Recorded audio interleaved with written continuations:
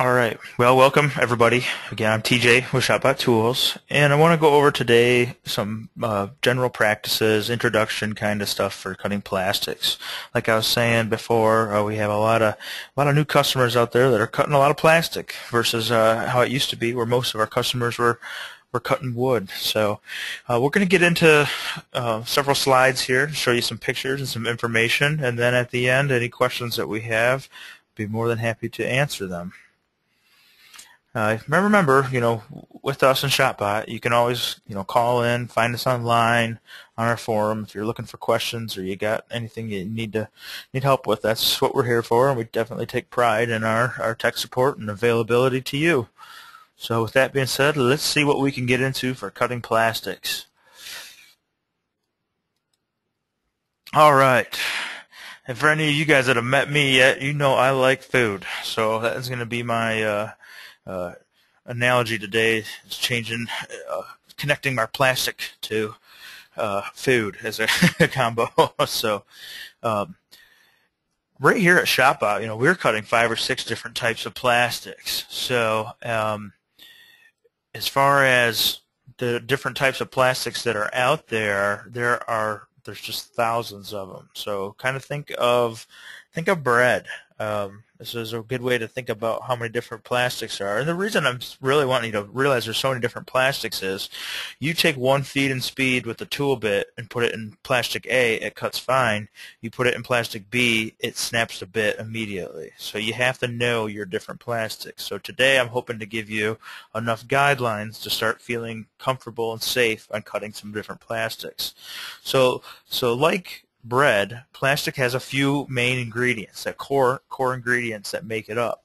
And then depending on, you know, how, just like bread, you know, how it's cooked, the size of it, uh, the different textures that are in it. And the same thing with plastics. There's a lot of different additives that can go into different plastics. There's uh, they're formed different ways. There's different heats that they're brought up to when they're being, uh, whether they're being extruded or uh, molded or what might be.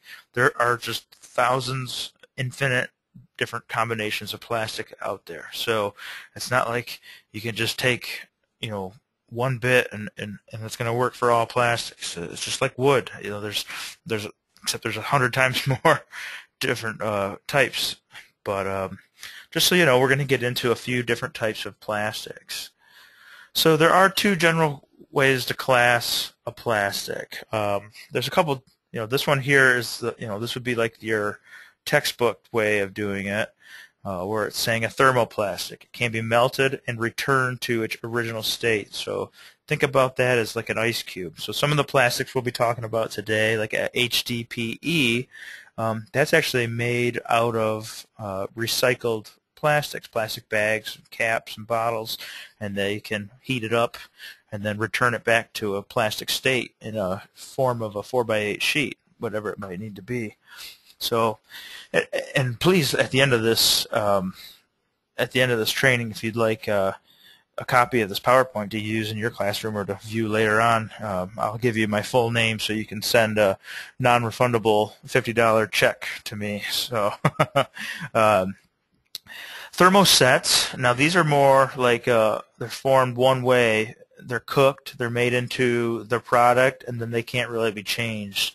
And you'll see this a lot with like your plexiglass, um, acrylics, and different epoxies. You know, once they're put in a certain state, that they can't be you know reformed back. So you got a thermoplastic and a thermoset. So think just think a set. Once it's set, it's set up for life, versus a thermoplastic, which can be you know altered back.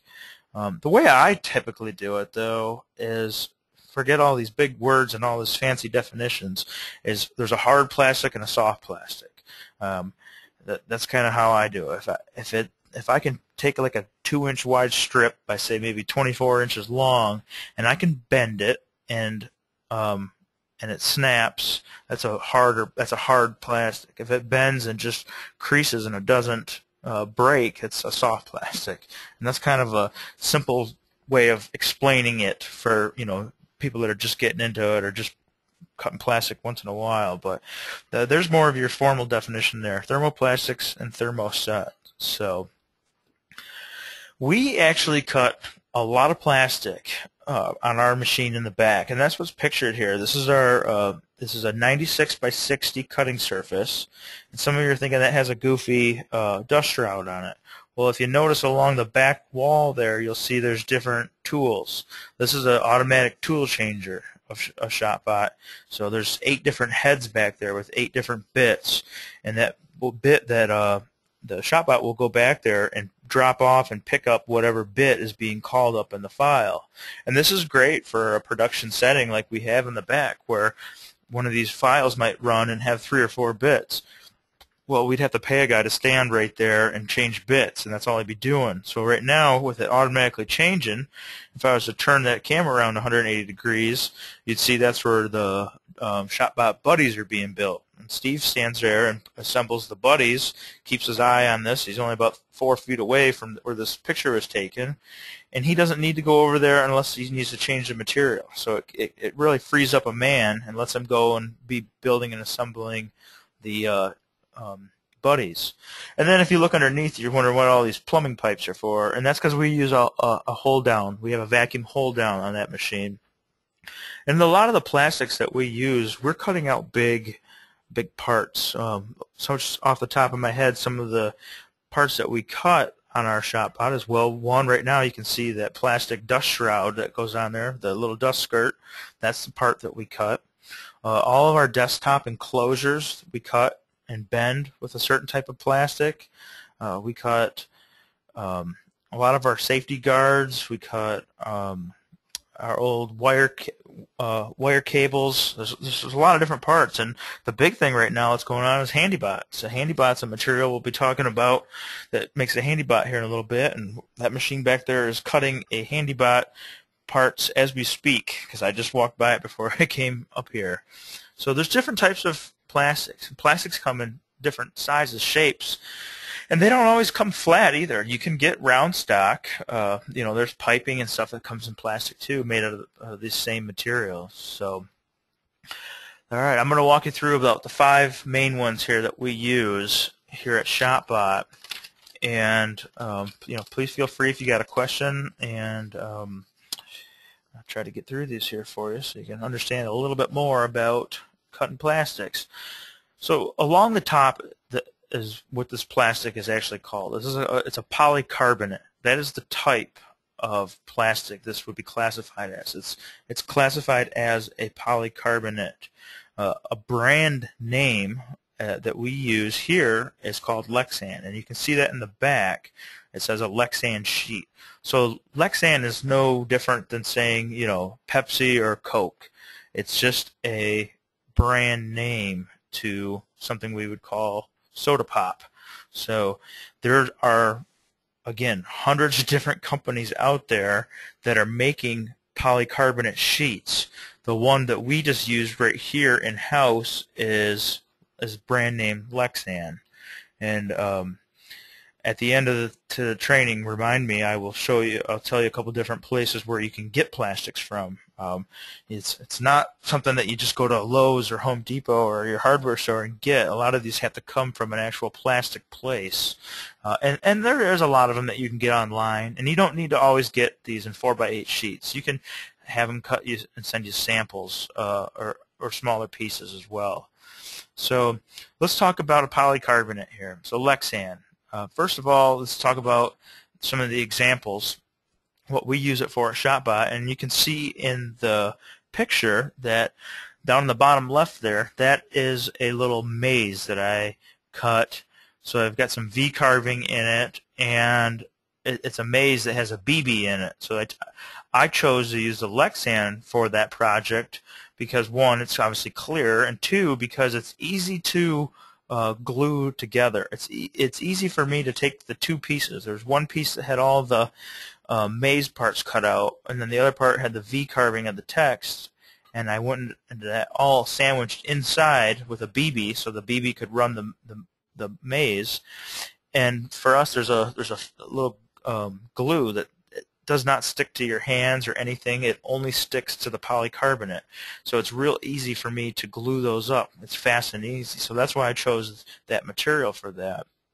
Um, any of you that have an older machine, before we had uh, e-chains, you have something called a wire guide, which is a big, long, it's like a six-foot long piece of uh, Lexan that um, that's what all your wires and stuff are attached to above your uh, above your spindle or your router. So when your machine's moving back and forth, that thing bends and it and it um, it's not going to break.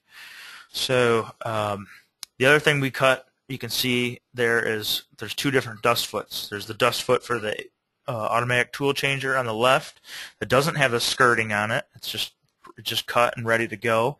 And then the one on the right is the desktop dust skirt, and that one already has the skirt on it. So why do we choose why do we choose these to, to make these out of polycarbonate? Well, let's start up with the pros. One, it has a high impact strength, so it's it's really a very very strong material.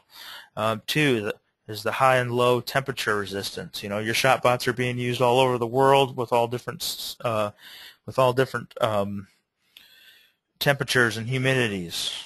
It's thermoformable. Uh, cons though, it does not take heat evenly. So we've got a couple parts here that we have to heat and bend and um, this is not one that takes a heat real well. If you uh, applied heat to this and then you got it warm, and as soon as you remove the heat, it's really going to dissipate real fast. Uh, where um, a different material, like an acrylic or something, would hold it. Uh, you need to score it to bend it, meaning you need to put some kind of a V cut in it. So it's a very hard material. It's it's hard to bend and cut that way. Um, just so uh, you can see some other examples down below, uh, CDs and DVDs are made out of it, safety glasses, and uh, if you have a thick enough piece like you see at your banks or your gas stations, that that's that's a polycarbonate. That, that's bulletproof. You know, it, you know, obviously if you had an eighth inch uh, thick piece of it, it's not going to be bulletproof. But they've got that inch thick uh, clear polycarbonate, and that's what protects the employees that are behind those those walls. So that is um, really a par- polycarbonate in a nutshell. And like I said, we use the brand Lexan, and you can see on the back too where it says Sabic, S-A-B-I-C. That is the company that we get our Lexan through. So there are again, a lot of different brand names out there. You could just go to Google and type in polycarbonate sheets and and find out some of the different brands. All right, now here's where we're going to get into doing uh, words that are bigger than my uh, uh, vocabulary. You got more than three syllables in it, I'm going to stay away. So this is, I mean, this would probably be the one thing that you could get at um, at Home Depot or Lowe's is, is just a straight plexiglass. Um, plexiglass again, though, is just a brand name. This polymethyl methylene is the actual chemical, you know, compound name for the this material. But uh, two of the brands that we use here is plexiglass and acrylite. So I've been a big fan of acrylite these last few years of the ShopBot because I can get it in so many different colors. And when I mean colors, I mean it's clear still, but it has a tint to it. So like right there on the right, you see the ShopBot sign. Well, that is a bluish tint piece of uh, acrylite, and it just has a white light below it. I mean, there's different ways you could get that light. You could have a blue light with clear stuff, but I was able to actually, I had a clear bulb, and I said I want to make the ShopBot blue um, sign to fit. So I was able to get a, a tinted um, piece of acrylite, and that one was nice because I went right to their website, said the size that I need, and you know they just the blank size that I need, and they sent me just that. I didn't need to go buy a full four by eight sheet of it. So, um, so let's see here. What are some of the pros of this? Uh, it, it can withstand pressure. So you will see a lot of like fish aquariums and um, stuff that has water behind it uh, used. The other thing is a whole corrosive material. So when I was putting this together, I looked up a few things, and like this is what they'll you know they'll put a lot of medical waste in and different material that is actually corrosive or would you know eat away at um, different plastics or metals. So uh, it's actually a good material for holding corrosive stuff. Um, if you use just a straight, straight poly here, this it, it is um, it, it, it is very brittle. If you were to try to push this in your hand together and snap it, um, yeah, it's gonna it's gonna break, and uh, it's very sharp and it shatters. So I wouldn't recommend using it on you know things that uh, can take a chance of, of snapping and, and cutting you. So uh, be careful with that.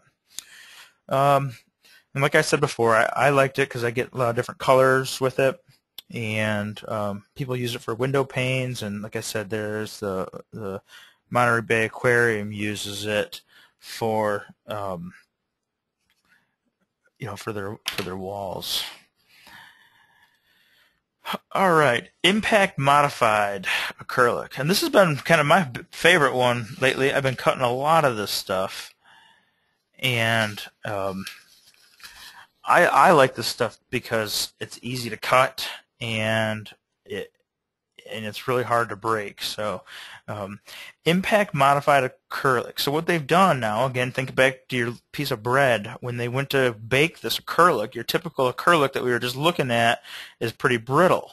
Well, now they put some sort of an additive in there, and they've made it so it's impact modified. And what that means is like it, it could take a take a blow and like like if you punched it or you threw a ball at it or hit it with a bat, it's not going to break and shatter. Uh, so that it is an added cost to do that, but um, that is something that this is good for. So for me, um, if I look down here at our examples, uh, this little game here on the left, there's a steel ball that goes inside these two pieces of plastic. And then to get it out, you got to squeeze the plastic. Well, squeezing and squeezing and squeezing, eventually, if it was to break, uh, this one's not going to shatter. It's just going to kind of um, distort the color and, and just kind of bend and, and, and and it won't shatter. Where if I just used the regular acrylic and you were bending that with your hands and eventually it snapped, it could be sharp and cut you. So that's why I chose that plastic for uh, for this project. Uh, next to it, you see this is a switch, and that's a that's a switch for the desktop. That's actually your power switch, and um, the reason I have it positioned like that is you can see that it's a C shape. So when we cut that, we cut it flat and we just have the hole in it for the switch. But then what we do is we heat that up and bend it, and then it holds its position. So uh, impact modified acrylic is a really good uh, material to use for heating and bending. It'll hold the heat after you take the um, heating source off it and allow it to bend. So, um, and then again, once it cools, you hold, you bend it around your form, and when it cools, it stays in that position where other materials would not stay or bend as evenly. So, um, and then if you look over here too, to the right, you see the dust foot, and it, for the desktop, no skirt on it yet. The black skirt's not on, and this is the top portion of it, where the bottom portion is the one that has a skirt, I'm sorry. This one here, being in a, a spot where it, it, needs a little bit of a flex, uh, they've went ahead and used this uh, uh, Duraplex material so that that can flex. And it's real easy to glue up. So, um, and again, we get that in a pipe and a flat form right there. So that's where that is. So, um, let me just kind of go over some of these pros again. We've got a sign grade, uh, medium impact. So it, uh, we have one, one, gentleman here who um, has been with ShopBot for probably since the beginning, and that's what he does is he cuts windshields out on his machine at home for golf carts and ATVs and, and different um, you know recreational vehicles because the you know these won't shatter if something hits them. You hit a tree when you're off road or uh, you got somebody driving a golf ball at you, cart, it's not going to shatter. So, um, and then again, the cons are not a whole lot here, but the added cost because you're addifying, add, adding a, um, a chemical to make it impact modified. It, it does have a sharp edge. Watch out for that. Um, unless you're using like a profile bit. So just a quick thing on bits. Um, you know, just your regular end mill. Um, your regular end mill um, will cut this, but it's going to leave a sharp edge. Where if you get a profile bit, which does the cutting through and a little round over, you know, then you're okay with it. But like that moose there that I've got pictured, I just did him with an eighth inch end mill, and I just kind of went and checked the edges with my hand before I would give it to somebody to to manhandle. I want to make sure the edges are are clean enough. So if you have a nice sharp bit, you're good, but otherwise watch out. But it does scratch easily. That was one thing that I found is a big con of it. So when you do get this stuff, it comes with a plastic uh, liner on both sides. And this is where I need to make sure I add a note to pull the top thing off. I don't know how many of you have ever done that in here. Where um, So this plastic, and most of these plastics still come with um, like a protective layer uh, on both sides. So one time and, and, as long as the protective layer is on there tight, it's not a big deal. You can cut it.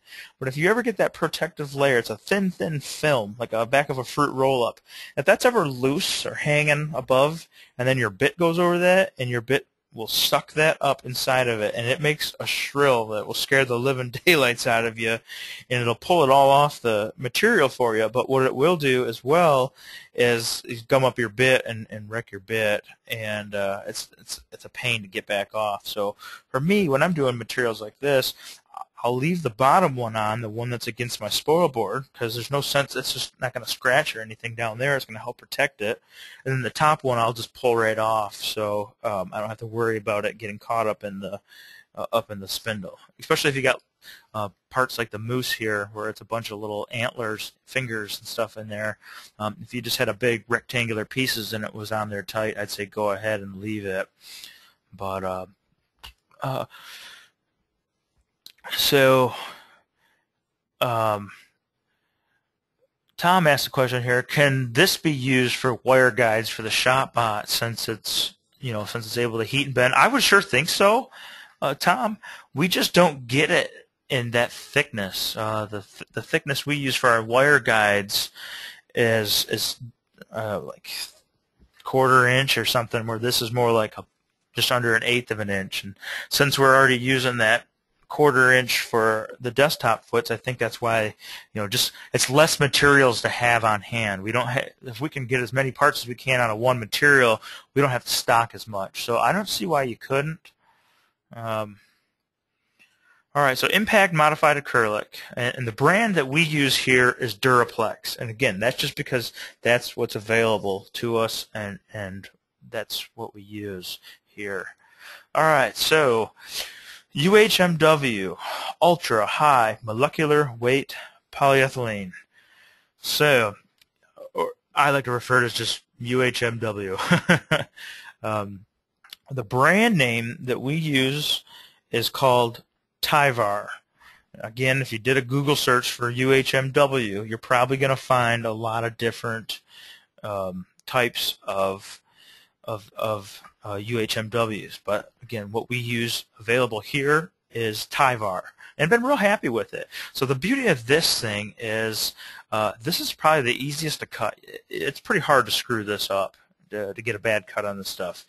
It, it it's just a easy, easy to cut material. Um, use it for drilling holes. Use it for um, use it for uh, we actually use it a lot of it on our five axes right now because it's so smooth. So it's both a pro and a con if you wanted to look at it. That material is very, very smooth.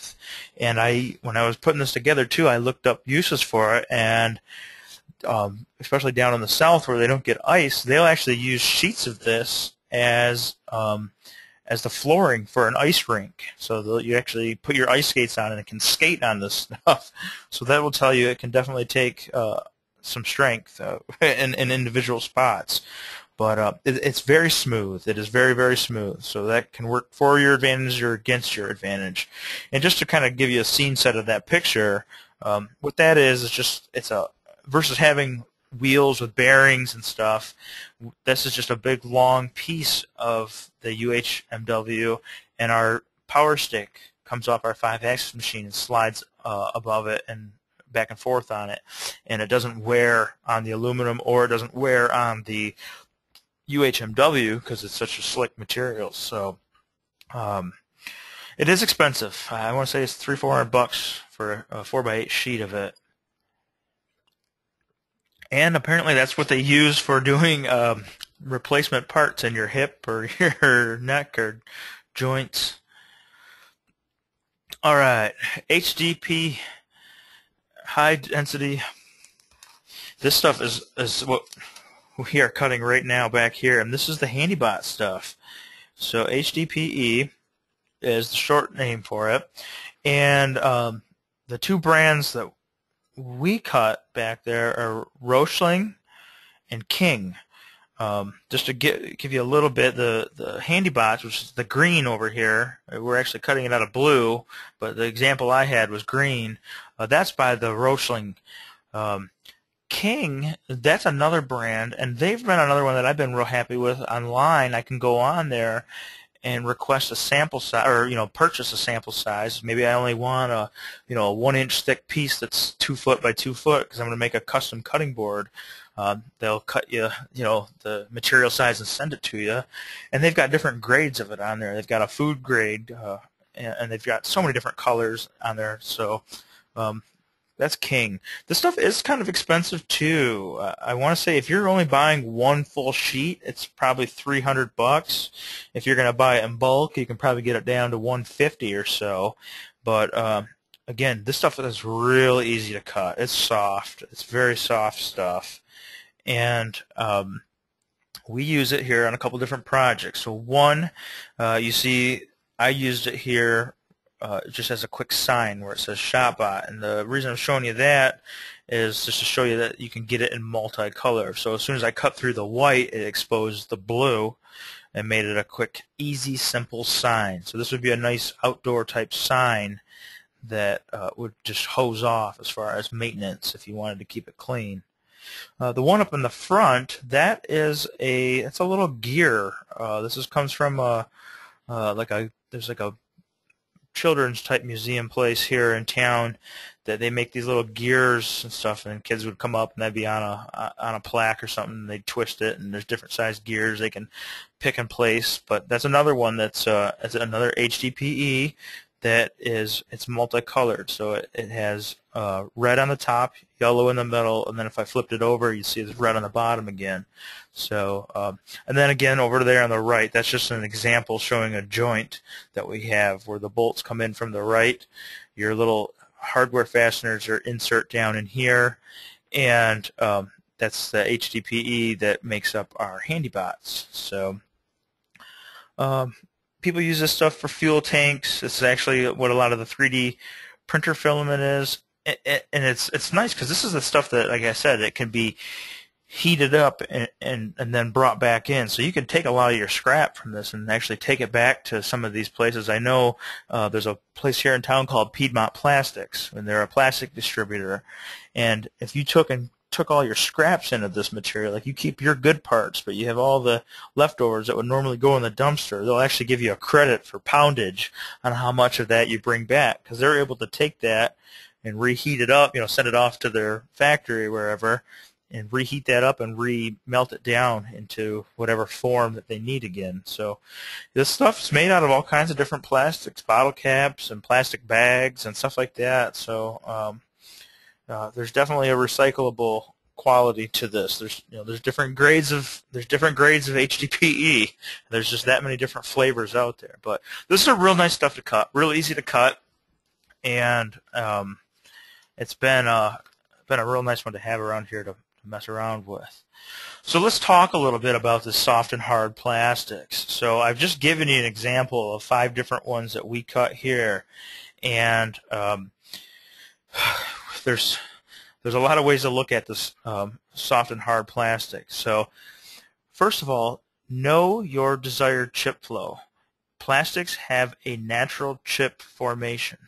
So what I mean by this is their plastics, the way they're designed, the way they're you know chemically structured, they will naturally cut better with either a um, tightly curled chip or a loose curled chip. So when you're selecting a bit to cut your plastic, you need to know what plastic you're using because that plastic has its own you know it has its own qualities. It doesn't matter what bit you throw at it. That's how it naturally needs to chip. So a soft plastic as you can see there I'm looking to get a tightly curled chip and that's what these little blue curls are. They're kind of curled up when they come off there. Where if I look over here at a hard plastic I got these like blocks or these open curls and that's just a natural chip that's supposed to come off that. So you would need to go and go, okay, I'm cutting HDPE today. Um, is this a hard or a soft plastic? Well, I can, you know, I can go off the um, paperwork that came with it. I could research it. I could ask whatever it needed to be and go, okay, so this is a soft plastic. So if it's a soft plastic, I'm going to want to try to achieve a tightly curled chip. And this, if you notice, looking at the end of my inside this um, crosshairs here, I've got a curled edge and then I've got more of a straight cornered edge. So this is more of this one is what we're going to get into in the next slide is your O flute bit, and this would be more of your straight V, uh, like your straight end mill with a V on it. Um, not not a V on the end, but a V built into the uh, the actual profile. So know your plastic before you go in this. You know, if I have a soft plastic and I start using a wrong bit on it, I'm fighting against the natural chip.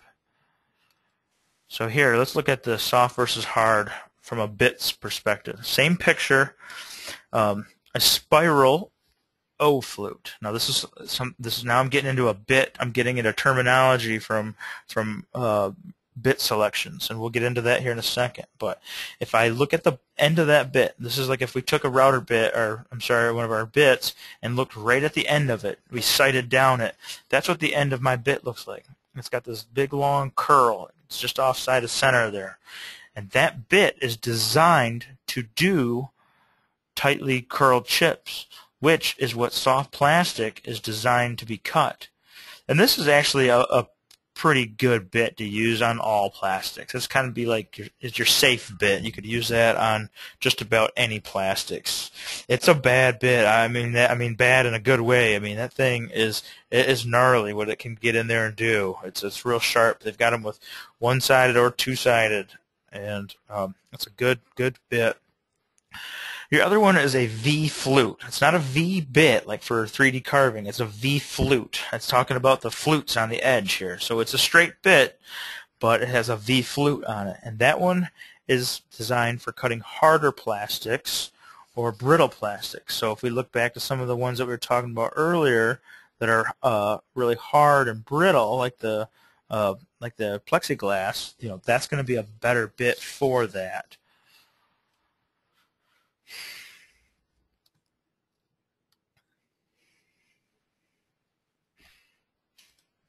All right. So I'm referring you to, I'm not going to sit here today and uh, I'm not going to sit here and say this bit, this feed, this speed, because that'd be silly for me to even pretend like I know what plastic, what machine, what your exact setup is.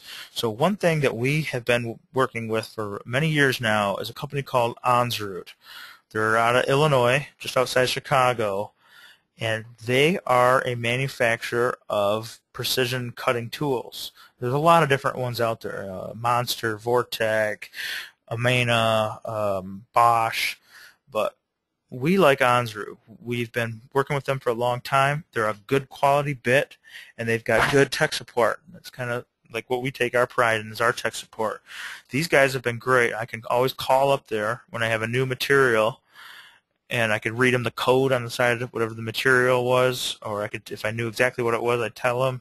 And they're good at recommending bits. Um, it's not exactly a plastic example, but um, I, I came across a job where I needed to cut some inch and a half thick bamboo, and I called them and told them, all right, I'm using the brand Plyboo, plywood, and it's this thick. Um, I'm able to cut this many inches a second. What do you have for a bit? They recommended it to me. I ordered it right from them, and they sent it to me. It was down here to North Carolina within two days. It was great. So um, I'm going to steer you in this direction when you're looking for a specific bit because you know it, just because a you know a, a, guy you know these would be a, these are guys that this is what they do. They they make these bits. They're the ones testing them they're the ones hearing people in the industry saying yes or no. So they'd be better than you know me or somebody else that cuts on plastic every once in a while. But um, they've got a catalog, and, and you can go right to onsrud.com and download it if you or you can request a, a, paper copy. But it's it's nice. You go in there, and I'm just showing you an example of one bit here. This is their 63 series. It gives the different model numbers. It gives a little read up about it. This is a single flute, solid carbide, upcut spiral O flute. There's a mouthful, right? but no, I just kind of break this apart. Single flute, check. It's got one cutter. Spirals around, check it's an O. I'm looking here at that edge. It goes back to that picture that I had where there's the O flute. And then look down here. They've even got it broke up for you for is it a hard plastic or a soft plastic. There's a model number for each one. It gives you the cutting diameter, the length, the flute length, which is the length of the cut, um, the shank diameter, and then overall length is OAL. So they do a real good stuff, and they'll even recommend up here um, different plastics. Under HP, it's telling you your acrylics and your polycarbonates, solid surface, that'd be like a Corian, um, and then a soft plastic, HDPE. Um, well, there's polycarbonate again. There's different flavors of that. so onsrud.com, they've been a, a real good resource as far as um, bits, and let me show you one more slide that goes along with this, is um, I've spent a lot of time on there in the last few months, just going on there reading stuff, just lot, trying to learn more about bits, because the more I learn about them, the less chance I have of breaking them. So I've been going on there and reading a lot about them, but some of the stuff that they have here is um, these guys, they'll help you select the cutters to produce optimal finishes. They can recommend you feed rates and RPMs. Uh, they can match, you know, different grades of plastic there are out there and try to get you the best bit. And they're just a real good company all the way around. So again, onsrud.com is probably the easiest way to get a hold of them. And then here's their 800 number as well down below. So there might be times where you don't uh, you know you have a bit already and, and you still want to be able to figure out a chip load on yourself. And just to tell you what chip load again is that's you're determining the size of the chip that comes off there you know like the the size of the piece of sawdust if it was wood. So by getting the proper chip load you can tell if your machine is cutting at the right feeds and speeds. And built into our software is um, if you go into the ShopBot software, you go to Tools, and you go down here to Chip Load Calculator, it's going to bring this up right here. And if I clicked on Chip Load Help, it's going to explain everything there is to uh, basics of chip load and what, what it is.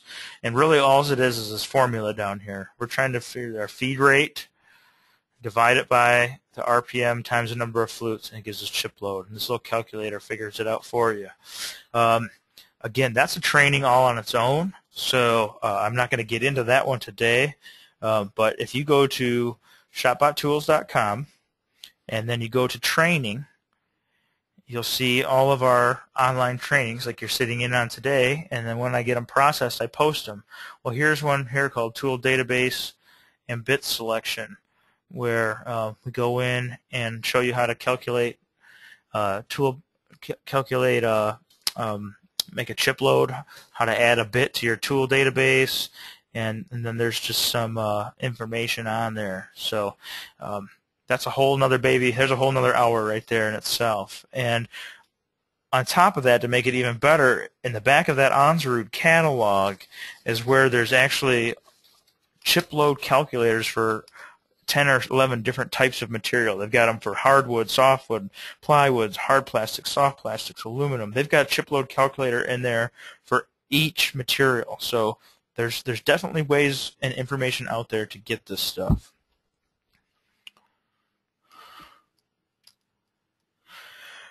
All right, so I guess uh, kind of wrap this up. First of all, know the type of plastic you are using. Is it a hard plastic or a soft plastic? Because the way that plastic has been cooked or formed, it's going to have a natural chip that comes off from it. So you want to make sure you're using the right bit that is is designed for that chip. If you have something that's coming off with a, a real hard plastic, um, you're you know you're not going to want to use the soft plastic bit for it. So know the different types of plastics. Review this. Review you know whenever you buy this plastics or you find the manufacturer, the brand, you can go and they'll tell you all kinds of stuff about it. That's where I got most of this information from today. Was I went out and found the sheet of plastic that's laying on our shelf out there and started writing down the different specs and stuff on it. So um, you know I can't sit here and say all right. Uh, uh, quarter inch up spiral bit, three inches a second, 18,000 RPMs, you're ready to cut plastic. It's unfortunately not that simple, but there it, it is simple enough to know which one of the types you're using, um, knowing that you know your O your up flute O spiral is pretty much a good all-around bit, and then you just need to dial in your feed and your speed around that, and you can do that by using the chip load calculator. So um, I will give you a, a, bit that I do prefer to use from Onsrud, and that is the 65-023. And that's that up spiral bit that uh, it has the uh, upcut spiral single flute.